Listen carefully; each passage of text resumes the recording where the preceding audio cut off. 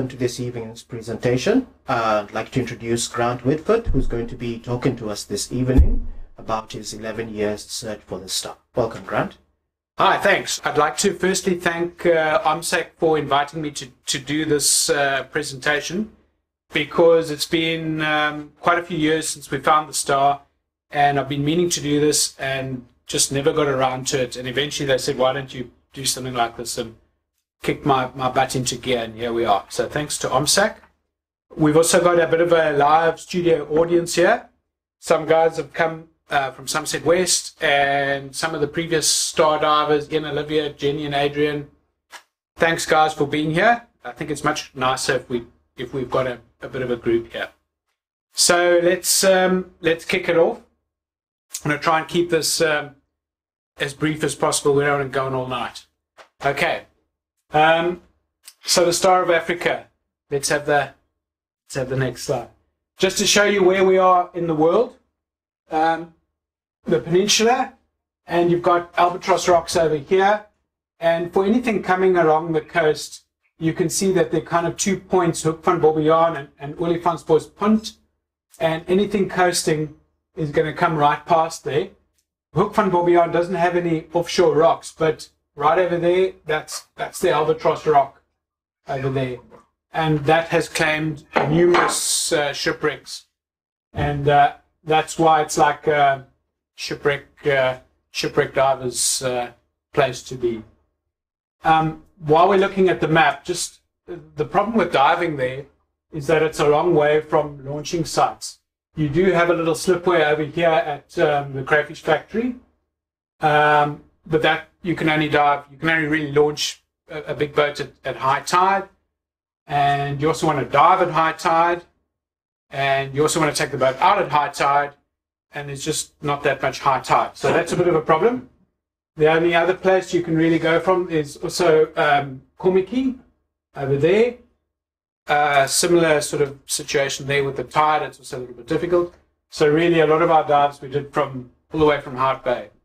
So the problems you've got here, firstly, it's a long way from, from anywhere where you can put a boat in. And secondly, it's quite exposed to the southwest swells. Our, our swells are coming right in here. There's not much protection from the, from the southeast. So it's a really exposed spot. So you can, we find you, you've probably got about um, 10, maybe 20 days in the year that you can dive there. And of the days that coincide with the weekend when you can get a group together you're looking at maybe, you know, three or four days, and you know people aren't available and so on, and that's why it's just difficult diving there. But anyway, we like it. Okay, let's have a look at the the next slide. This is the the around Albatross Rocks. There are uh, numerous wrecks. I think we've got six here. These are the six wrecks which are actually on the rocks. There are others that some that hit the rock and went somewhere else, and ones that were beached a little bit further away. But these six uh, are, are the, really the ones that we're concerned about when we're diving there. So, firstly, uh, these are in chronological order. So, firstly, we had the Alouette. In 1817, she was a French ship, struck the rock, and ended up uh, ended up on the shore. One child drowned, and she had uh, quite a mixed cargo. She was going from France to Reunion, which was then a French colony. Um, and at, actually, at that time, there was a lot, a lot of French shipping around the point. And uh, there are another two French ships which are in the area. Okay, after the Alouette came this, the SS Albatross. She was a steam tug, and she hit the rock and then was uh, sank in 12 minutes. Also went inshore a little bit. And then, of course, that's where the, the name of the rocks came from, is from that, uh, that ship. Uh, then, 1880, the one we worried about, the Star of Africa. And we'll go into a bit of uh, more detail with her, but basically, she was a Aberdeen built uh, three masted iron bark and 431 tons Captain Barron was her captain. She struck the rock and sank shortly afterwards. That's quite important. Shortly afterwards, sailing from south to north, going towards Cape Town with her cargo. Okay, then after her came the Mhlali uh, in 1909, same year that the Maori wrecked. We all know the Maori. And she's actually very similar to the Maori. If you look at that picture of her, you can see so very similar steamship to the Maori. And she had a general cargo, and she's one of the better dives at, at Albatross Rocks. And then 1917 came the Bia, actually also very similar to, to the Maori and the Mhlali. It's a Swedish freighter, same tonnage almost exactly as the Mhlali. And she was beached after hitting the rock. Four men died there. And then Second World War came the steamship, the Thomas T. Tucker. She was uh, an American Liberty ship, quite a lot bigger, 7,200 tons. Also struck the struck the rock and ended up on the, on the in, in, inshore.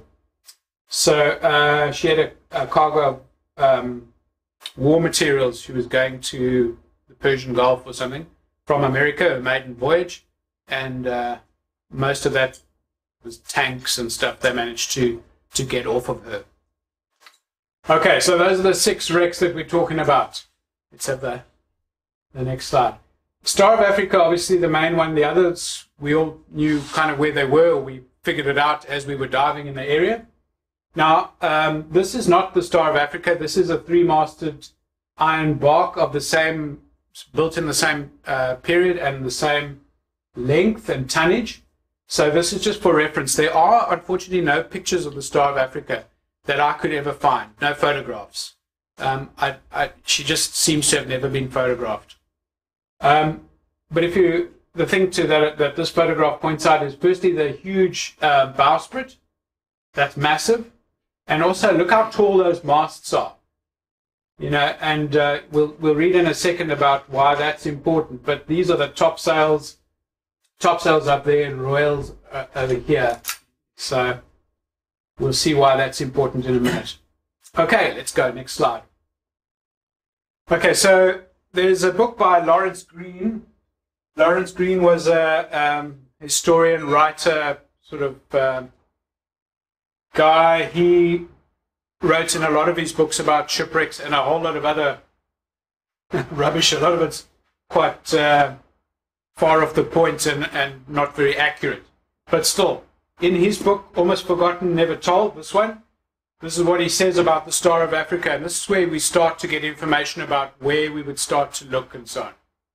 Okay, he says, uh, early hours of August morning, she floundered and sank almost immediately. There it is again. The wind was light and she was under royals, those sails that I pointed out.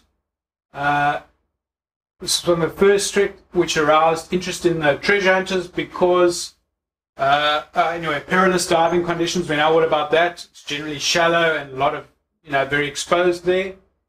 And um, anyway, it talks about he'll, you know, fill you in on whatever he's been able to discover. And a bit of the story about the captain, Captain Barrow, is the part owner of the ship and was returning to Table Bay from Calcutta with a general cargo of Eastern merchandise. Ship was valued at nine thousand pounds. Cargo similar amount. Let's have a look at the next slide. Um, so we find out that he, the captain, was married and that his wife was on board. That he had uh, supervised the fitting out of the ship in Aberdeen and had made the cabin suitable to have his his wife with him. It was quite nice and the main cargo is, is rice, but there's other stuff. There's castor oil, um, coconut oil, casks of tamarinds. I'm not sure what they are. Um, other stuff, and a box of golden sovereigns, possibly coin, because in those days the um, cargoes were paid for in gold. And he apparently was saving for possibly to buy a steamship with his partners in Cape Town. So you would think there was um, there was possibly quite a lot, a lot of gold coins in his strong box or safe in his cabin. Um, a little bit of when they when they struck the rock. It was at night, and the ship went down almost immediately. But obviously, people were woken up. He's shouting to somebody, "For God's sake, save my wife!" But it was impossible to do so. Henderson, which is the the first mate, was drawn down by the suction, but he came up again and managed to cling to a capsized, road, uh, capsized boat with uh, five other uh, seamen. Four of them dropped off and drowned before they drifted. The boat drifted ashore. Six hours after that, Henderson and Francis, one of the seamen, crawled ashore onto the beach. So there was two survivors of the crew of 16. So 14, 14 perished. Uh, he talks about Mr. Alexander Black of Simonstown having bought the wreck for 72 pounds only, which seems very little, and some of the cargo was washed up on, on the beach. Um, okay. So uh, he also talks about how uh, Cape Town, uh, this ship was the main supplier of rice to Cape Town, and after her sinking, uh, Cape Town ran out of rice and the price of rice went up, and, and the Malay people, who were mostly, I think, eating the rice, had a bit of a dry time with the rice. So all this sort of information comes from newspaper articles, which I've got here. So one can go to the Cape, uh, Cape Town archives, and you can look on the days that all this stuff happened, and you can find from the Cape Times, and uh, it's Cape Times. Uh, the various ones here. You can get a whole lot of information. You can get the names of the other uh, crew that died, and some interesting and odd stuff around the the cargo and you know what it meant to Cape Town to lose this essentially a Cape Town ship. Then uh, let's go to the next slide. Uh, no, there must be one before that. Okay, here we go. So, in another little interesting aside, um, um, Lawrence Green talks about a diver that he interviewed. So, this was a guy called Carl Erickson. Erickson was a diver working in Cape Town from about that period until I think just before the First World War. So, that was hard hat diving, the old days of hard hat diving. I mean, they were pretty, you know, rudimentary equipment and so. So this is what the guy says. They got out there, they must have got there when the, the mast was still sticking out the water. And he says, exposed position, the hull of the ship was full of sharks, man-eating sharks. They were packed in there like sardines in a box. I counted 16 big ones. Then I signaled that I was coming up for dynamite. But then the wind started to blow, and we had to pack up. And he said, the syndicate which would have funded this expedition collapsed. I never went down again. No one else would risk his life at Albatross Rock, but there's gold and other treasure aboard the old Star of Africa. That syndicate knew all about it. So that's like, you know, man-eating sharks packed in there like sardines and going up for the dynamite. You don't know what this guy was you know, he was being interviewed by Lawrence Green, and this is what he came up with. But probably they got there a day or two after the sinking. Uh, maybe the owner, uh, Black, had, had chartered them, obviously to get to the um, the strong room. But we now know with the sort of depth which she was lying, and the sort of equipment they were using, uh, you know, and and being in an exposed position. I mean, they must have just got there. There's no weather forecasting or you know, I think it's it's unlikely that they could have really achieved anything. Anyway, that's just a bit of an aside. Let's go to the next slide. Okay, so this is Albatross Rocks. This is the, the point here, Olifantsbos Punt. And on the shore, you've got the Thomas T. Tucker, some wreckage, bits of uh, machinery that have, that have washed right up onto the shore. And this is kind of when we started going there. This is with um, when I was still running Pisces dive charters with Mike Nokia, like uh, 2004, I think. That's the extent of what we knew of Albatross Rock. So here you've got the main rock, Uh, and there's another rock just a little bit inshore. I think it's called Elephant Rock, but I'm not sure about that. But this is the guy that claims all the all the shipping. It's a fair distance offshore, and it's kelpy. This is all kelp. These little symbols here are kelp. So that's as it looked when we got there the first time. Pisces Dive Charter is going to go and find, you know, dive this area. Okay, next slide. Right, so um, after diving there four or five times, we got to find that the Mhlali, kind of in this area, the Thomas T. Tucker a little bit over here to the east, and the Bia. I think we talked about the Bia when we had the list of ships. Anyway, she's there. She's the, the freighter in two parts we could never really establish which was the Alouette. The Alouette would have been a wooden ship, uh, sailing ship. So I think she's kind of over here, but we're not sure. Now these dives are shallow. You're talking about five, maybe six meters, and normally because you're so exposed to the shell, uh, the swell, they're also very surgy. Uh, so these wrecks are completely broken up. You can't even uh, you know, you might see something and think, oh, that's a piece of that machinery or that must be main engine. But then you swim over there and that doesn't make sense. Maybe that's from another wreck. It's all mixed up and very difficult to, um, to sort of discern what's going on down there.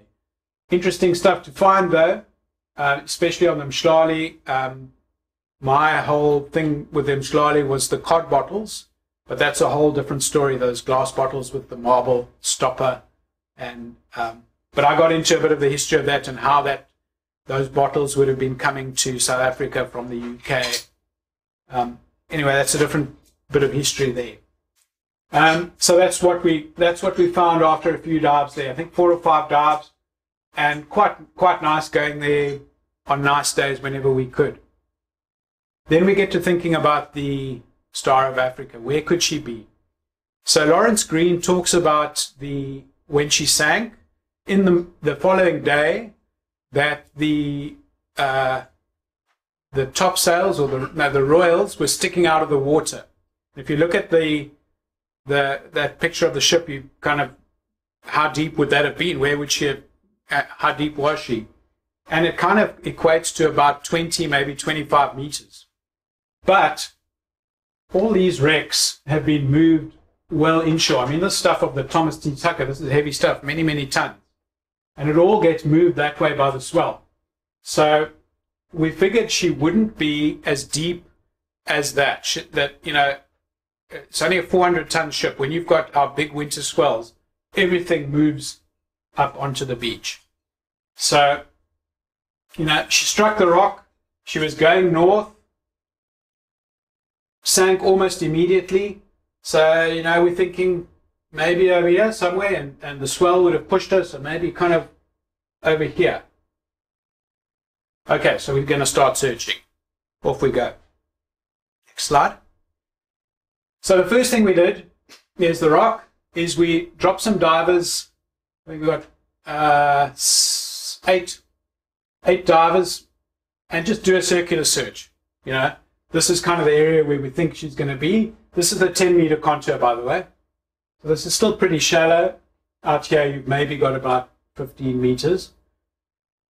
Do a circular search and let's hope for the best. Found nothing. So, you know, that would be the first dive of the day, then you go and dive the Mhlali or whatever. Next time there,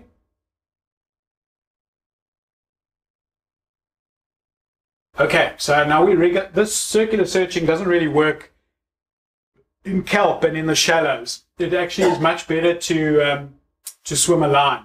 So we figured that the way to do it is to drop divers like that, and you just swim magnetic um, east.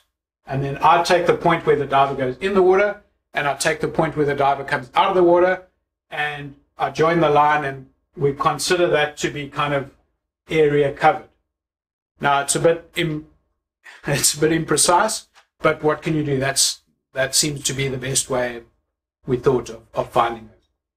So those first uh, five lines Uh, obviously, somebody went a bit skew, but it doesn't matter. Anyway, found nothing. Next time. Bear in mind, these dives are, you know, probably six months, maybe a year apart. So we're going to go from here and extend our search a bit to the north.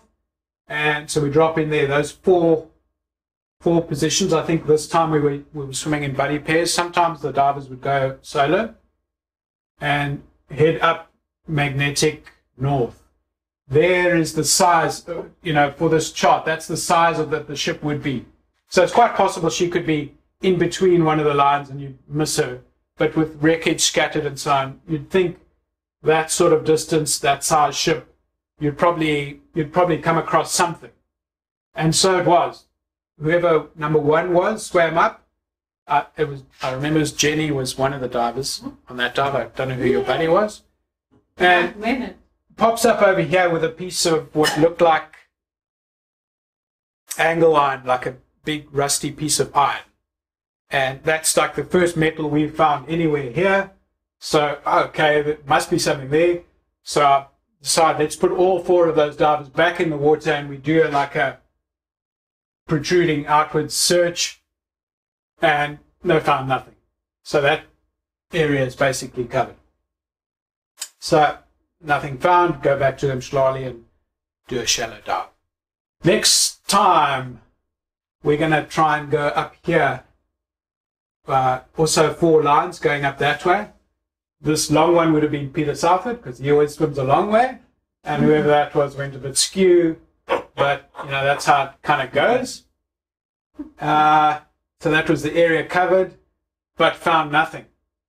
Um, looking at one uh, another of Lawrence Green's books, he talks about the, the wreck being quite far from the rock. He says three quarters of a mile, of a nautical mile. That's up there.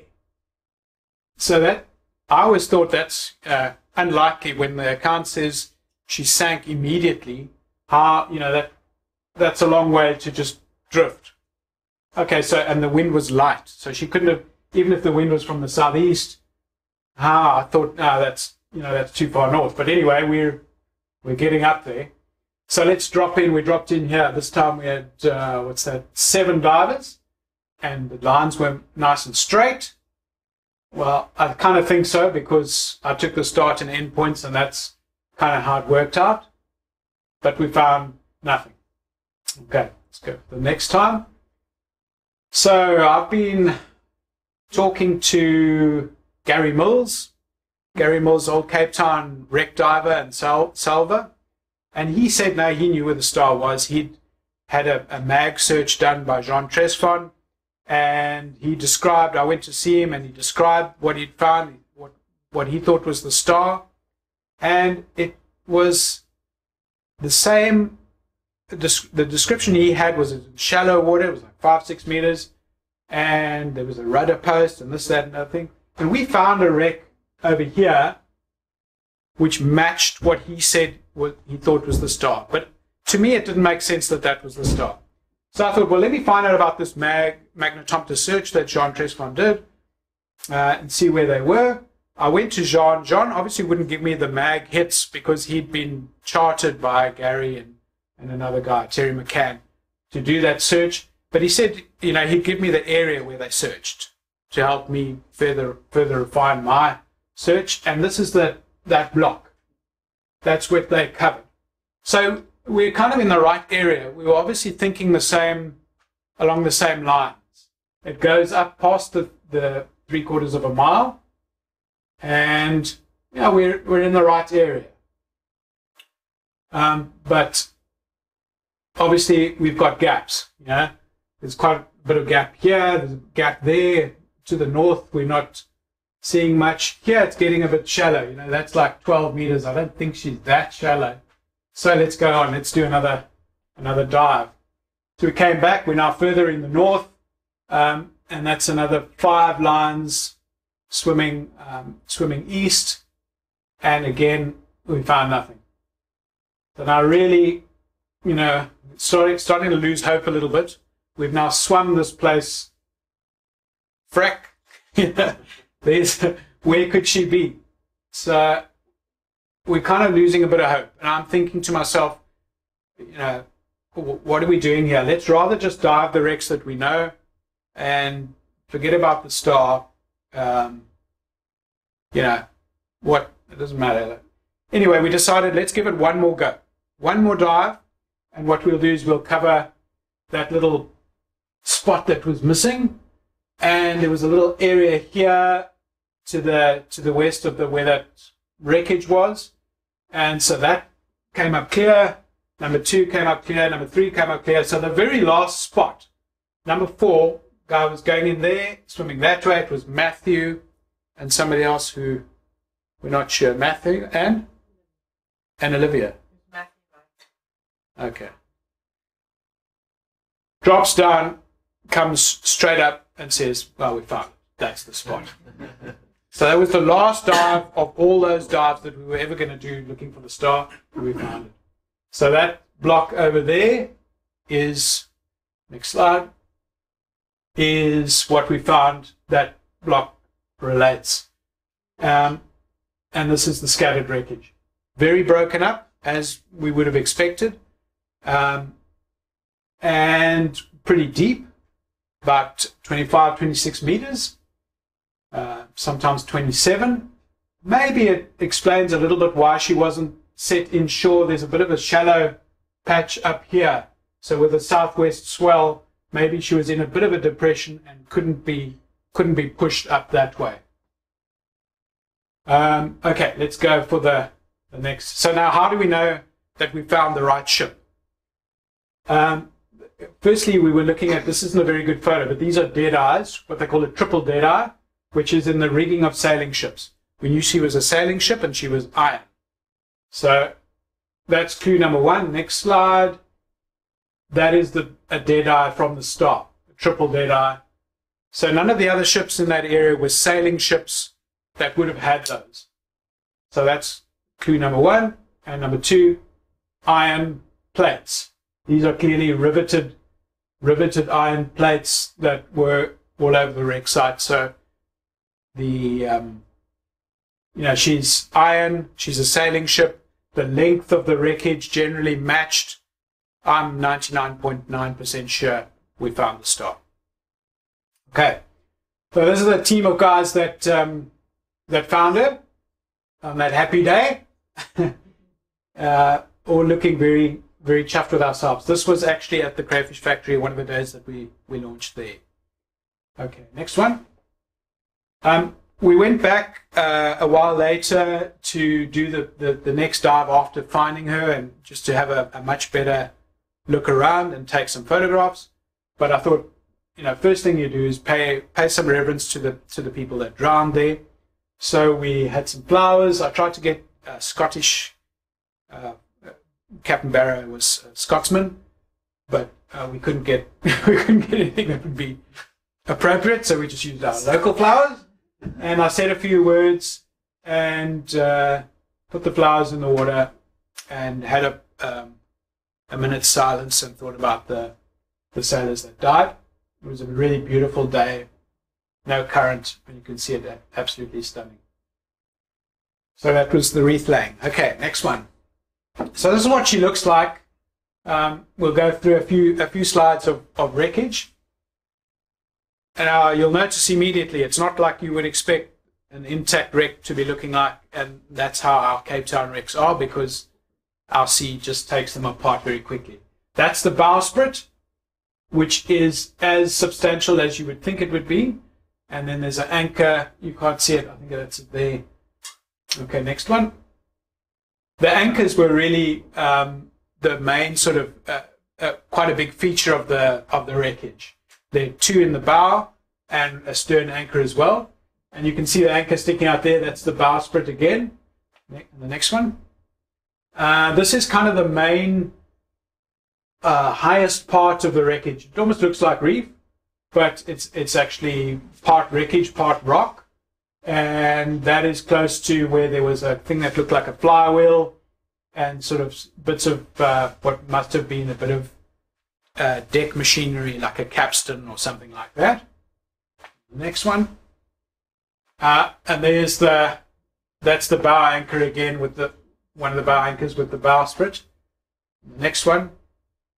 And here's, you can kind of see here's the, the iron ribs and some iron plating left in places like that. But you, I mean, there's a lot of sand and obviously quite a lot of it is, is, is buried in the sand. Next one.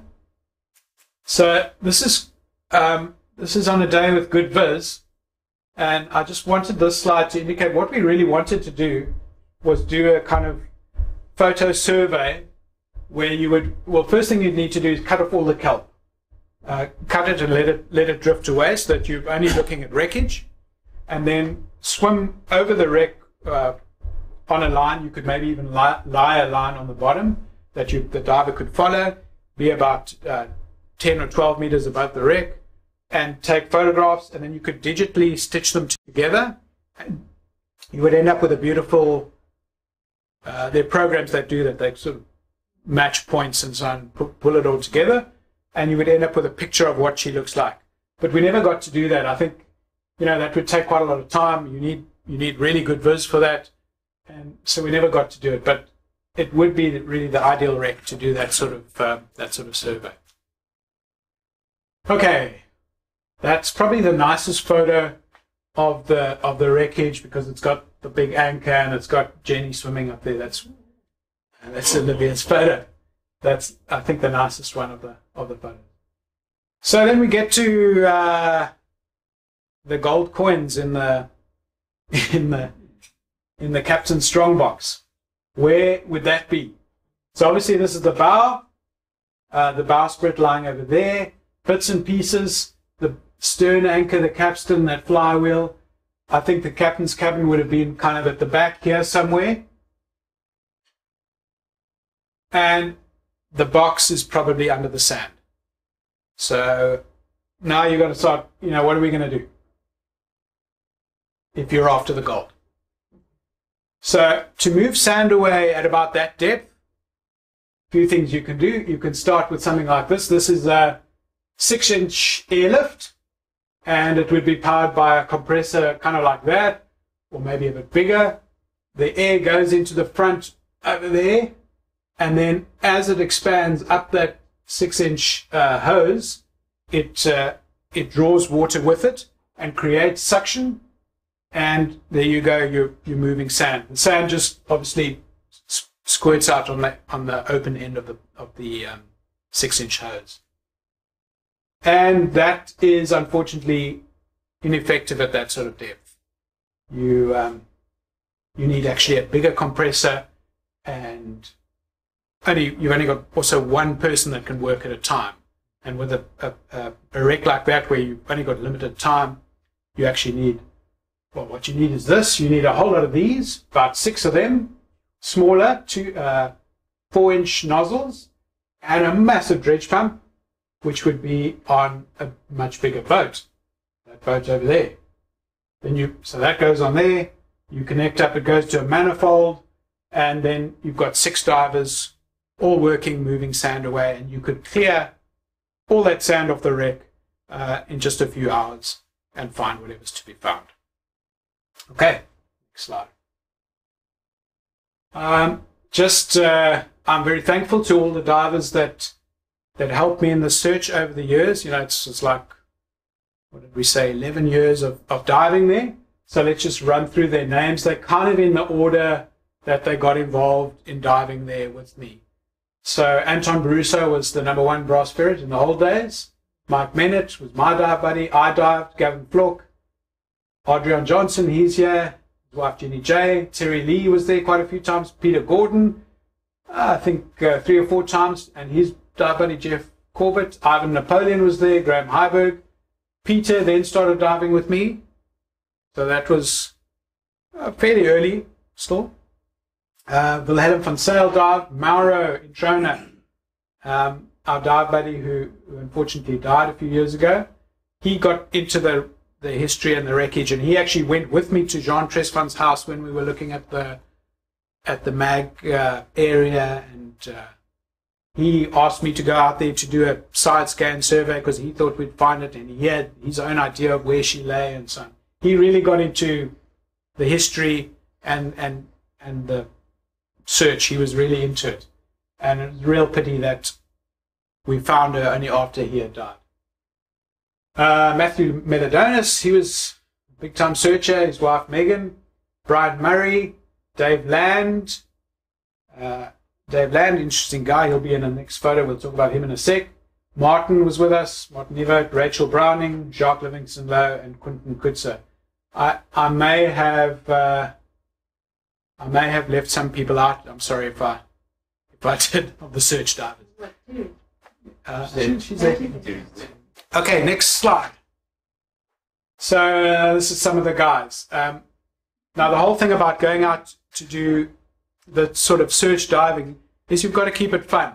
You you can't be having a whole day out there just focused on just swimming lines and endless lines, and you you've got to be you know it's got to be social. You're doing it on a nice day. You're going to stop if you see dolphins, and you're going to basically make it pleasurable for everybody. Otherwise, you're going to end up doing it all by yourself.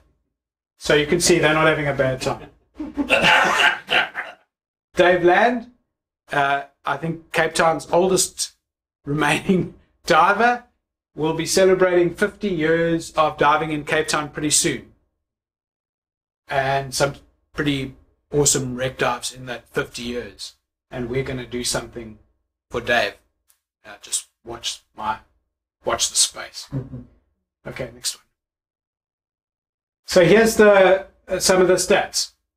Um, we did four days of diving the wreck prior to starting to look for the for the Star of Africa. That was in the Pisces Dive Charters days with my previous boat, which was the Big Blue. We did one side scan survey trip. That was Mara's uh, idea. Then we did seven uh, search days with multiple divers, multiple dives, and that was all between January 2010 and the 5th of uh, September 2015, which is when we found her and we've been there six times subsequent to, to finding her from uh, October 2015 to August last year. So that's a total of 17 days of diving, approximately 150 individual dives in 16 years. So when you look at when you look at you can't go there that much. You know that's uh, 17 days out there in 16 years. It's averaging like one a year. And that is, is the difficulty with getting out to these extreme places. The conditions, to get the conditions matching the tide and the diver availability and the boat availability and nobody being sick, you know, it's not that often that it happens. Cool. Next one. So that's the end of the of the story of the search for the Star of Africa. Thank you for for watching. Cool.